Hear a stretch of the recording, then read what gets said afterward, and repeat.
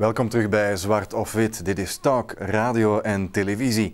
De vrijheid van meningsuiting, het enige programma waar u live in debat kunt treden met politici ongecensureerd, zoals u het wenst. Natuurlijk moet u wel vriendelijk tegen mij blijven, anders vliegt u af, eraf van onze lijnen.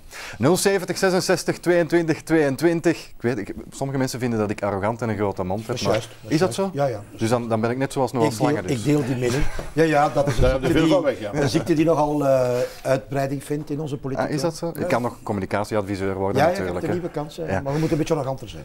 Toch wat? Een beetje arroganter nog. Nog arroganter. ja, te weinig. Als u dat wil, eh, dan beslist Kan u dat als burger. Hè. En ik luister naar.